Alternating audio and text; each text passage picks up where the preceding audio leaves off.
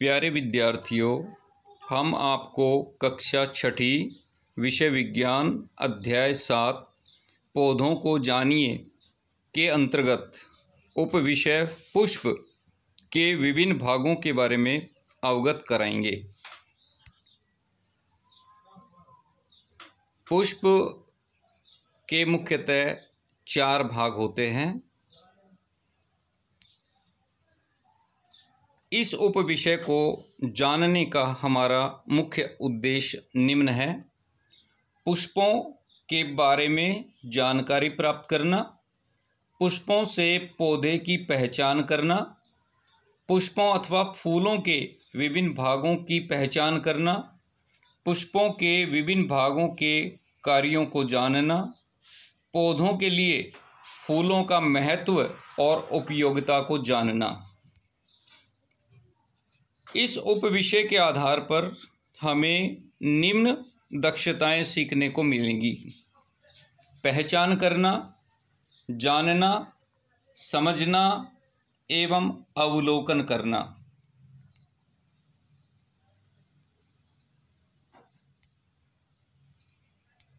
इस उपविषय में फूलों के मुख्यतः चार भागों के बारे में बताया गया है। फूल का सबसे नीचे का भाग बाह्य दलपुंज कहलाता है। ये अधिकांश हरे रंग का होता है। बाह्य दलपुंज के ऊपर रंगीन भाग, जिन्हें पंखुड़ियाँ कहते हैं उसे दलपुंज भी कहते हैं।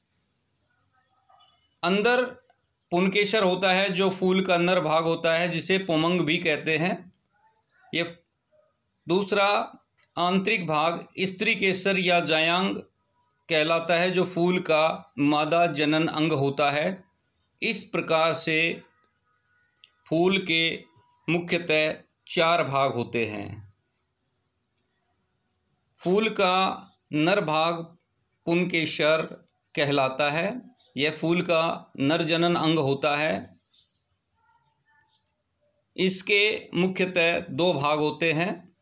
ऊपरी भाग पराग कोश कहलाता है, जिसमें पराग कर्ण जिन्हें नर युग्मक या नरजनन कोशिका भी कहते हैं, होते हैं, तथा पराग कोश के नीचे का भाग पुतंतु कहलाता है। यह पराग कोश के नीचे वाले भाग को पुतंतु कहते हैं। इस प्रकार से पुनकेशर फूल का नर जनन अंग होता है, क्योंकि पुनकेशर के पराग कोश में नर जनन कोशिका, अर्थात परागकण पाए जाते हैं।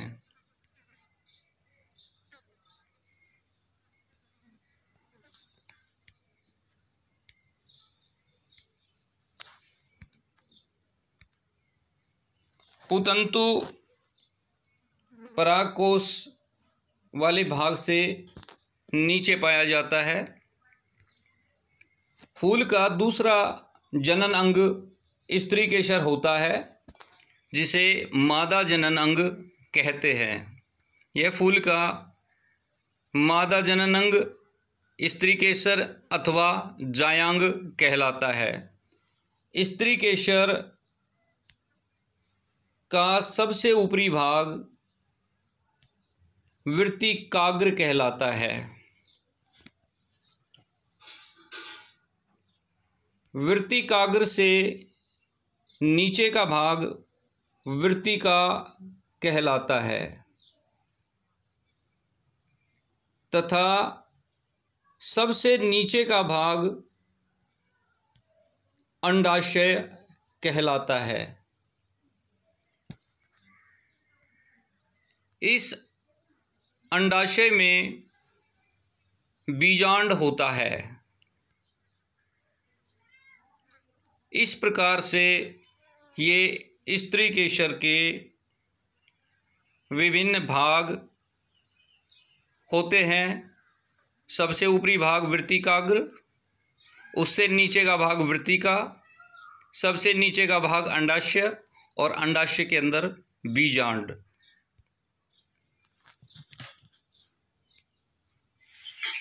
प्रिय विद्यार्थियों, आज हम गुड़हल के पुष्प के विभिन्न भागों के बारे में जानेंगे तथा उनके क्या क्या कार्य होते हैं उनके बारे में जानेंगे। पुष्प का ये वाला भाग बाह्य दलपुंज कहलाता है। जब पुष्प कलिका अवस्था में होता है तो ये भाग पुष्प की रक्षा करते हैं। अधिकांश हरे होने के कारण प्रकाश संश्लेषण क्रिया द्वारा ये पौधे के लिए भोजन बनाते हैं। इससे ऊपर का जो भाग है, वो पुष्प का भाग दलपुंज कहलाता है। ये अलग अलग फूलों में अलग अलग होने के कारण अलग अलग रंग के होने के कारण कीटों को अपनी ओर आकर्षित करते हैं, जिसके कारण परागण क्रिया में सहायता मिलती है। ये पीले रंग के संरचनाएँ जो दिखाई दे रही है, ये पुष्प के नर भाग, जिनको पुनकेसर भी कहते हैं या पुमंग भी कहते हैं, कहलाते हैं। ऊपर का जो भाग पुनकेसर का वो परागकोश कहलाता है तथा नीचे के जो भाग है ये, इन्हें पुतंतु कहते हैं। ये फूल का मादा भाग जिसे स्त्री केसर भी कहते हैं। ऊपर का भाग वृत्ति काग्र कहलाता है, उससे नीचे का भाग वृत्ति का कहलाता है और फूल के अंदर का जो भाग है, उसे अंडाशय कहते हैं। इस प्रकार से स्त्री केसर तीन भागों में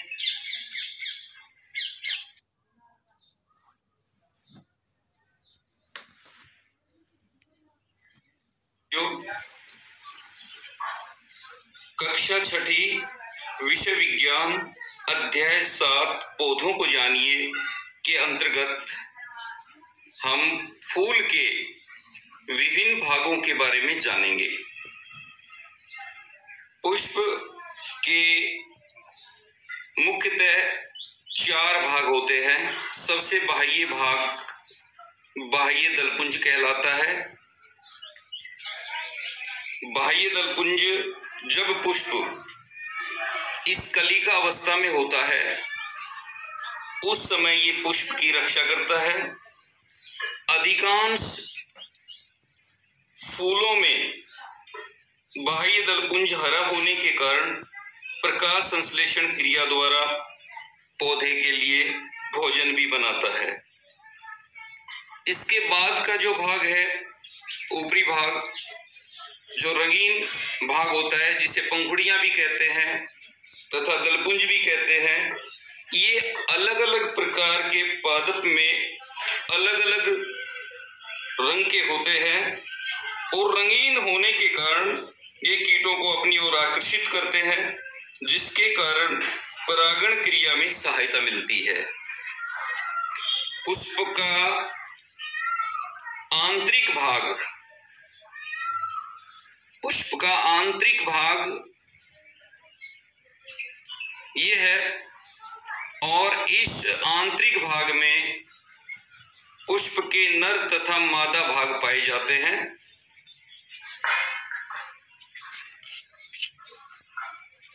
जब हम इस दलपुंज को हटाते हैं, पंखुड़ियों को हटाते हैं तो हमें पुष्प के नर तथा मादा भाग दिखाई देते हैं। ये पुष्प के नर भाग हैं, जिनको पुनकेशर कहते हैं या पुमंग कहते हैं। पुनकेशर पुष्प का नर भाग कहलाता है, नर जनन अंग कहलाता है। और बीच के अंदर ये संरचना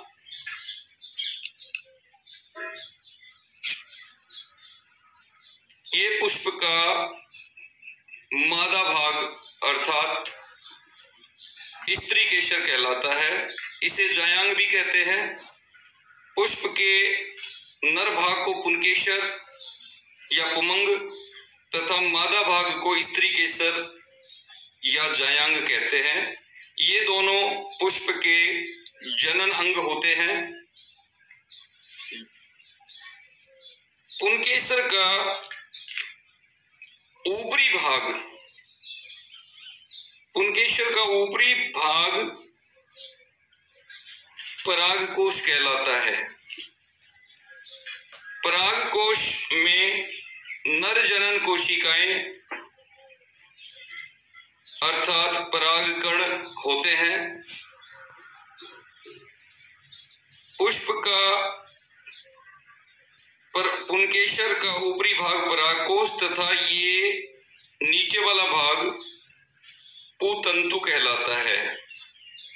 ये पुष्प का नर जनन अंग है, जिसे पुनकेशर या पुमंग कहते हैं। इसका ऊपरी भाग पराग कोश तथा नीचे वाला भाग पुतंतु कहलाता है। पराग कोश में पराग परागकण, जिसे नर जनन कोशिका या नर जनन युग्मक कहते हैं, ये बहुत सारी संख्या के अंदर इनमें पाए जाते हैं। ये पुष्प का मादा भाग है। जिसे स्त्री केसर या जायांग कहते हैं। स्त्री केसर का सबसे ऊपर वाला भाग वृत्तिकाग्र कहलाता है। इसके नीचे वाला भाग वृत्तिका कहलाता है और सबसे नीचे वाला जो भाग है, वो अंडाशय कहलाता है।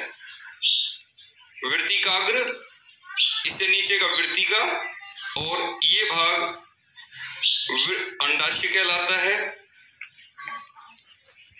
अंडाशय के अंदर बीजांड होते हैं और बीजांड परिपक्व होकर के फल बनता है। और इस फल के अंदर बीज बनते हैं।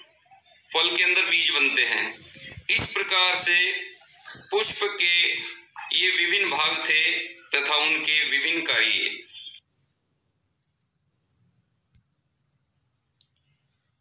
इस उपविषय के माध्यम से आप जान पाएँगे, पुष्प पौधे के लिए क्यों आवश्यक है?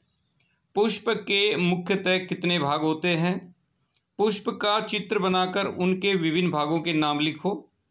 पुष्प के सभी भागों के नाम लिखकर उनके कार्य लिखें, अध्यापक से चर्चा करें, पादप पर पुष्प कब लगते हैं, तथा क्या सभी पुष्प के कार्य एक समान होते हैं। इस प्रकार से पुष्प के बारे में हमें विस्तृत रूप से इस उपविषय के माध्यम से जानकारी प्राप्त होगी।